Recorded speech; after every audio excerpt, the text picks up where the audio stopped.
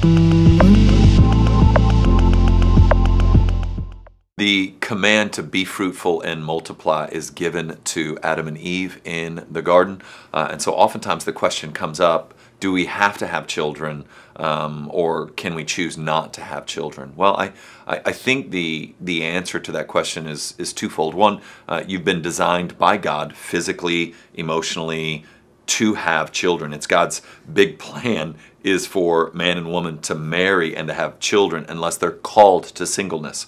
So I, I think the question I'd, I'd like to ask back, and this is a, I, kind of want to know why you, you wouldn't want to have children. I think more often than not, what gets revealed is a type of selfishness of heart or some sort of fear that's either rooted in an experience or not rooted in reality at all. And, and so, really, I think the question um, reveals that something's going on in the heart that has to be navigated. It, uh, are you living for one's own comfort? Is it that you don't think you'll be a good mom or dad because your mom and dad weren't a good mom and dad? See, the gospel wants to speak to all of those scenarios and all of those situations. And so I, I think that biblically speaking, a man and woman should pursue the gift of God in children.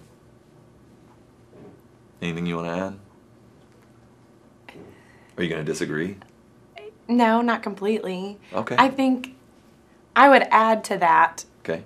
Once you've done the work of digging into your heart and seeing is it fear is it is it selfishness that i don't want children i do believe there's still people that um, are able to have children um, or maybe they're not they're not able let me say that they're yeah. not able but maybe they don't feel called to adoption and there's some that don't aren't able to have kids and they do feel called to adoption.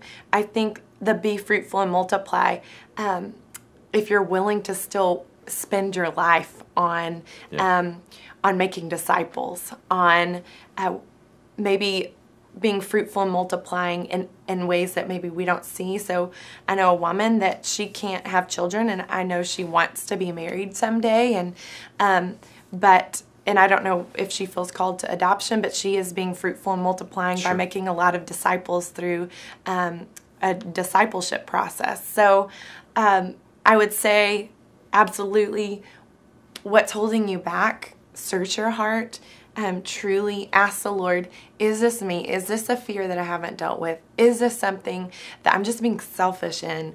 Or is there something that, that the Lord's calling you to do to maybe lay down that way of being fruitful and multiplying and taking up another way, um, that making disciples? Because that's part of um, sure. having children is having um, these little disciples that, Lord willing, He would capture their hearts and you do everything you can to make, to as you say, put the kindling around so that the Lord would ignite that fire and that they would make disciples and but I think also you can be fruitful and multiply by not having children as long as you're doing that hard work of sure. what's this about?